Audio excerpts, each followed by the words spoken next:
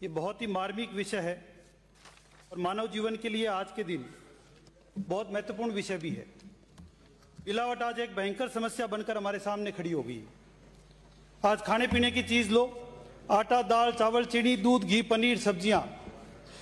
मसाले तक भी यदि हम कोई भी सामान यदि लेते हैं बाज़ार से तो किसी भी चीज़ की कोई गारंटी नहीं है कि वो चीज़, ये विषय जो है, वो वस्तु है, वो शुद्ध है या उसमें कितनी मिलावट है। हम नित प्रतिदिन समाचारों के माध्यम से भी देख रहे हैं। और कहीं कहीं पर कभी कभी सरकार की चिंता भी दिखती है कि मिलावट एक गंभीर समस्या हमारे सामने आ गई है। अध्यक्ष महोदय, हमारे लिए इससे भी बड़ी चिंता की विषय यह है कि राजस्थान प्रदेश मिलावट में दिन प्रतिदिन आगे बढ़ता जा रहा है और कभी हम बहुत पीछे हुआ करते थे, आज पूरे देश भर में हम नौवे स्थान पर आ गए मिलावट में। ये हमारे लिए बड़ा चिंताजनक विषय है। इतना ही नहीं, अध्यक्ष महोदय डब्ल्यूएचओ का जो अभी सर्वे आया है उस सर्वे में 2025 में होने वाली सभी बीमारियों में लगभग 60 प्रतिशत बीमारियाँ केवल कैंसर की होने वाली है। ये डब्ल्यू का नया रिसर्च है। अध्यक्ष महोदय, मैं आपका ध्यान दिलाना चाहूँगा कि ये जनता के लिए एक बहुत ही महत्वपूर्ण विषय बन गया है। और अभी आपने कल परसों देखा कि अमूल और सरस के दूध में भी मिलावट पकड़ी जा रही है। तीन तीन हज़ार लीटर दूध एक साथ मिलावट के पकड़े जा रहे हैं। मैं आपसे ये कहूँगा कि मिलावट की इस कार्रवाई को किसी प्रकार से रोकें। और सबसे बड़ी बात, अध्यक्ष महोदय पाँच हज़ार सात सौ साठ मिलावट के सैंपल पकड़े गए पिछले साल।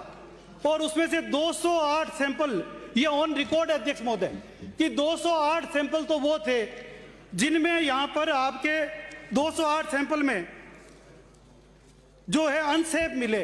अध्यक्ष महोदय, एक भी सैंपल अनसेफ नहीं मिल सकता।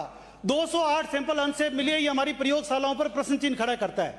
अध्यक्ष महोदय, मैं आपसे इस मामले में जो मांग करता हूँ कि मैं धन्यवाद भी दूँगा मीडिया के लोगों को कि जो लगातार सरकार से ज़्यादा हमको चिंतित होकर प्रतिदिन हमको अखबार में किसी न किसी न्यूज़पेपर में इन चीज़ों को पढ़ने को मिलता है कि कितनी भारी मात्रा में मिलावट हो रही है। अध्यक्ष महोदय, दो चीज़ें मैं आज मुख्यमंत्री जी बैठे हैं उप मुख्यमंत्री जी बैठे हैं सरकार के मंत्री बैठे हैं। दो चीज़ें मैं आपके माध्यम से सरकार से मांग करना चाहता हूँ कि एक तो हर ब्लॉक स्तर पर नई प्रयोगशालाएँ खोली जाए, क्योंकि जितने सैंपल पकड़ में आ रहे हैं उन सैंपलों में प्रयोगशालाओं तक तो पहुँचते पहुँचते या तो सैंपल रिटायर हो जाते हैं, या सैंपल को ठीक प्रकार से पकड़ नहीं पा रहे हैं। एक भी अपराधी को मिलावट के मामले में सजा नहीं मिली है। यह सीधा सीधा हत्या का मामला है। हत्या के प्रयासों में अटेम्प्ट टू मर्डर में इसका मुकदमा दर्ज हो, जो पहली बार पकड़ा जाए, उसको सात साल की सजा हो, और जो दूसरी बार मिलावट करता हुआ पकड़ा जाए, यदि वो खाने पीने की वस्तु में मिलावट है, और उससे यदि जीवन मूल्यों को हानि हो रही है तो उसको अटेम्प्ट टू मर्डर में आजीवन कारावास की सजा देने का राज्य सरकार प्रावधान करें और राजस्थान सहित पूरे देश में एक नया उदाहरण प्रस्तुत करें और लोगों को इस मिलावट से बचाएँ। यही आपसे निवेदन है। बहुत बहुत धन्यवाद अध्यक्ष छगन सिंह